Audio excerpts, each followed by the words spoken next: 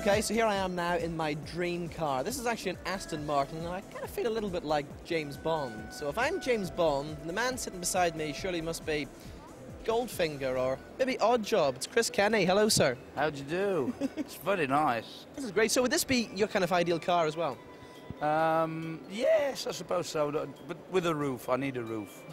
My helmet would fly off with this, I think. Okay, so talking about the helmet, you're, I suppose, the official tribute to Roy Chubby Brown now, aren't you? That's right. It's developed now over three years, and we've been coming to Belfast nearly two years now. And uh, Belfast people, they love the show. And every time I come, I'm amazed how it goes down very, very well with the people here.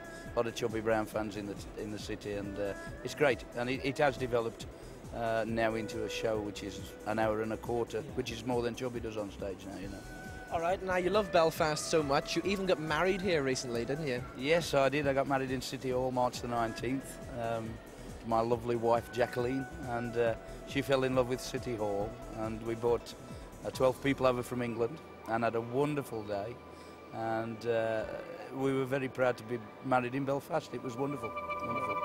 Okay, so tell us about uh, the Chubby Brown show. What was it in the beginning that made you want to go out there as Chubby?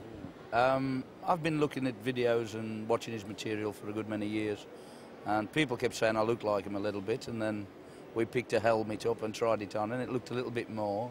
And now we have the grey wig, which looks even more, and uh, now it's more or less a double act, and uh, it works very well, and we've developed it over the years, and um, he's got all the posters of us and uh, knows of us, and he's uh, quite happy that we're doing tribute to him. So we do it properly. It's an yeah. authentic show. Uh, we do have people up out of the audience, so anybody in Belfast who's coming to the show, they can participate in the show and become part of the show, which is very, very nice for us, and they enjoy doing that. All right. Now, what about Chubby himself? Has he actually seen the show?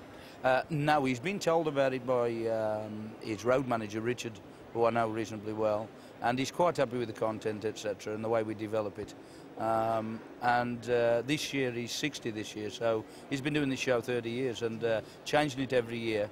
And uh, he's been suffering from uh, an illness, uh, throat cancer, for three years, and now he's over it. He's back at full pelt and uh, working all the weekends at Blackpool.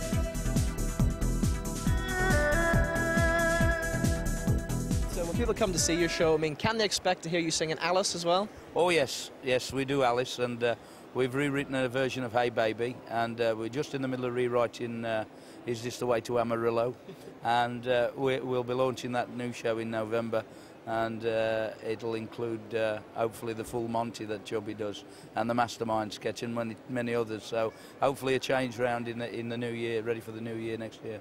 All right. So once you finish here in Belfast, where are you off to next? I'm back in Belfast next Friday for another two shows, and then I'm uh, in Dover, and then I'm in Benidorm for three nights, and then I'm back into UK again, and uh, we're all over with the show. All right, great stuff. Now, before you leave the Motor Plus show today, any cars taking your fancy that you might like? Oh, I like the Bentley Silver Spur. I like, I like the Bentley. Very nice. Um, be very good if I could afford that one day, but uh, I'm afraid it's out of my price range at the minute. but one day we may get there. But the Bentley Bentley's my dream car. Okay, well, Kris, uh, thank you for doing this, and uh, good luck with the, the Chubby Show. Thanks very much, Robin. Thank you.